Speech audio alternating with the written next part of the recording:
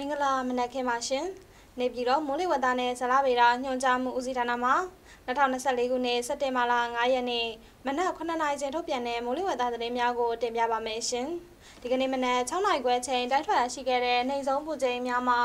နေပြည်တော်နဲ့ရန်ကုန်မြို့တို့မှာ25ဒီဂရီဆယ်စီယပ်89ဒီဂရီဖာရင်ဟိုက်စီနဲ့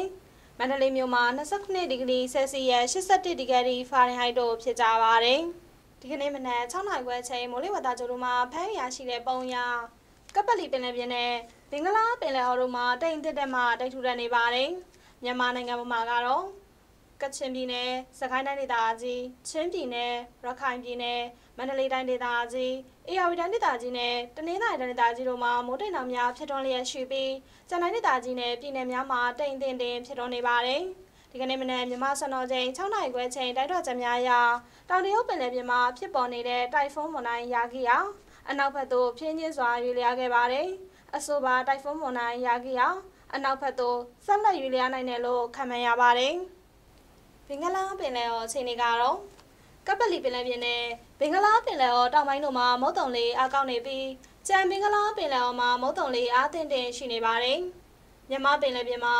မြဝကျုံပေါ်မော်တမာကွေမွန်တနင်္သာရီကရတဲ့ရှောင်းနဲ့ကန်လွန်မလဲပင်တို့မှာတခါတရံမိုးသက်လေပြင်းများကြာရောက်ပြီးလိုင်းအသင့်တက်မှာလိုင်းကျင်နိုင်ပါတယ်။မိုးသက်လေပြင်းကြစဉ်ရေပြင်းမြေပြင်းလေးဟာတနအီကိုမိုင်30မှ35မိုင်အထိတိုက်ခတ်နိုင်ပါတယ်။ကြံမြမပင်လေပြင်းမှာလိုင်းတင်တင်ရှိပါမယ်။လိုင်းမြမှာမြဝကျုံပေါ်မော်တမာကွေမွန်တနင်္သာရီကရတဲ့ရှောင်းနဲ့ကန်လွန်မလဲပင်တို့မှာ9ပေမှ9ပေခန့်နဲ့ ရခိုင်ကမ်းရတစ်ချောင်းနဲ့ကမ်းလွန်ပလဲပင်တို့မှာ9ပေမှ9ပေခန့်ရှိနိုင်ပါတယ်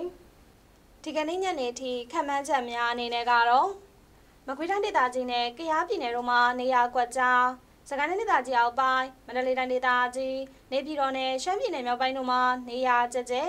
စကိုင်းတိုင်းဒေသကြီးအထက်ပိုင်းချင်းပြည်နယ်ရခိုင်ပြည်နယ်ပဲခူးတိုင်းဒေသကြီးနဲ့ရှမ်းပြည်နယ်အရှေ့ပိုင်းတို့မှာနေရာစိတ်စိမ်နေ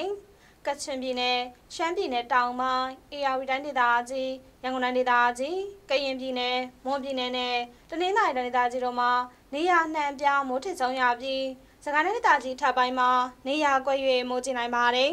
။နေပြည်တော်နဲ့အနီးတစ်ဝိုက်အတွက်ဒီကနေ့ညနေထိမိုးလေဝသအချိန်နဲ့ခံမှန်းကြမှာ